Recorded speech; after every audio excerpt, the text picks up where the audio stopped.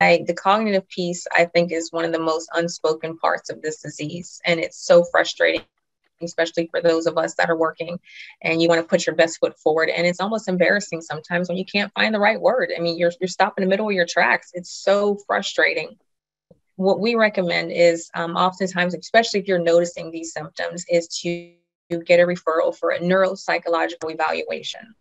And what that's going to look at is areas of like problem solving, verbal functioning, memory, short term memory, um, visuospatial. There's a lot of domains that it looks at.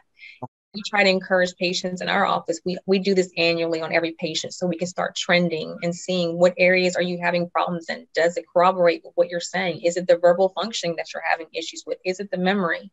And so when you get neuropsychological evaluation, that allows us to see what areas are actually impacted. And then you go through therapy with it, just like a physical therapy. It's the same thing for cognition. So it does exist. So don't be discouraged and you're doing what you're supposed to. You're challenging your brain, working on your second master's. Congratulations on that. Mm-hmm. Keep that up but just know also not you know sleeping is an issue with cognition also. If you're not getting enough rest that impacts that. And we also look at a mood. Is it depression? Is there a little bit of depression component to that? Maybe you don't even realize you don't want to admit to that. That plays a part in cognition. But neuropsychological evaluation is huge and getting the therapy through it. It actually does exist and it does help